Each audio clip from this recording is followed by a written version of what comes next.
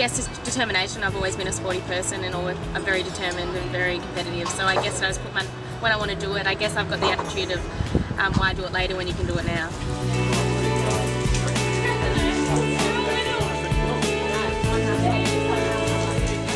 My classification is a T42, so which is an above knee amputee, and my disciplines are 100 metres and long jump. I train seven days a week, so Monday to Sunday. I drive, uh, unfortunately I train about two hours away from where I live, so I drive every day to training. I train probably around three to four hours a day. I do four track sessions a week, three gym sessions and a pool session.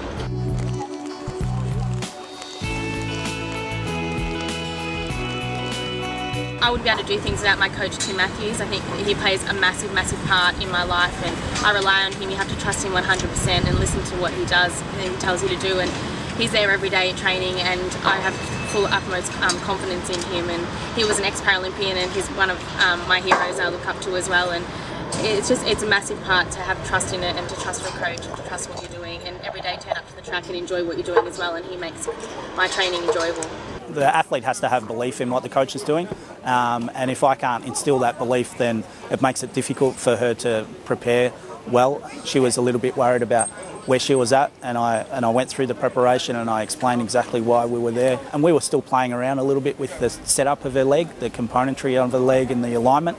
Um, so once we sorted all that out and um, she started to taper, her times came down really quickly. She's jumping further, so now obviously she has the belief that she belongs here and, and can win medals. So that's that's important. This is my running prosthesis and this is my walking leg. Um, the difference is my walking leg has a computer in it, which I need to charge every night, and it does a lot of the walking for me, so I don't have to put so much effort into my walking. Uh, the foot and the knee are aligned, so every step that I take, um, it walks for me and, and predicts my other leg and walks like my other leg. This is a completely different setup. It's got a hydraulic knee, which obviously you can see is a plus and a minus. And what happens is I and my prosthetist mark how fast and how slow my leg comes through. Um, it has a carbon fibre J as a foot, so it's obviously not set up like a rubber foot like my walking leg, and this I get a lot of spring out, and it mimics my like a running style. Uh, I guess the difference is as well, I put, I put a liner on here and it stays on with a suction kind of type, and this one is a liner with a pin, and so I can lock it in so there's no way when I'm running it can come out.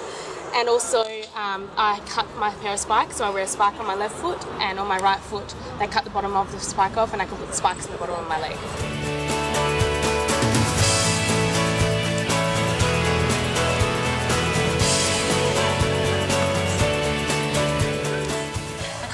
Leading up to the competition is a lot tougher than probably my usual training and then you taper off and you take it more seriously. I see sports psychologists, I see all that and you just do that little bit more extra and you talk with your coach about the things that you've got to remember that you've done in the past and like they say that when you get to a competition all the work's done so you've got to trust what you've done and don't change anything until you get there.